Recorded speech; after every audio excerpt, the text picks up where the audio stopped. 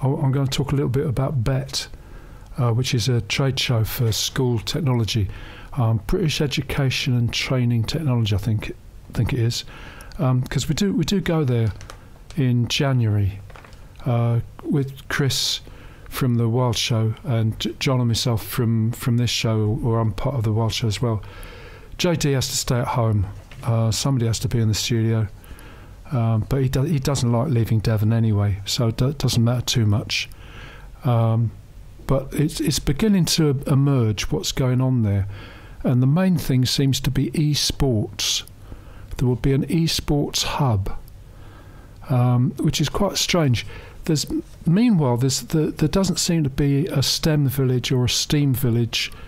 There, there used to be both both of those. Uh, started out as STEM, uh, science, technology, engineering, and maths, I think it is. Um, and then the arts was dropped in there, it became STEAM.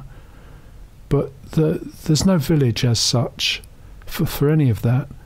Um, but esports is is booming. There will be an esports hub, and I think that that includes both both games and the broadcasting of games, which is video.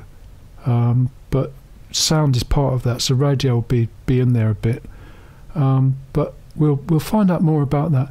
If there's if there's people in Exeter who already understand that, we'd like to hear from you.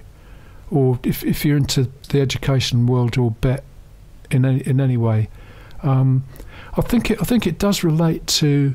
Uh, higher education or all sorts of education as well. It's it's really aimed at schools, maybe colleges, but I think the university people will be there as well, if only because getting an understanding of um, what the what students are expecting. I'll, I'll, I'll, say a bit more about e-learning and mo- moving online and so forth la- later on in this this show. But um, if if people in schools are getting into esports, then there's there's certain expectations they're going to have.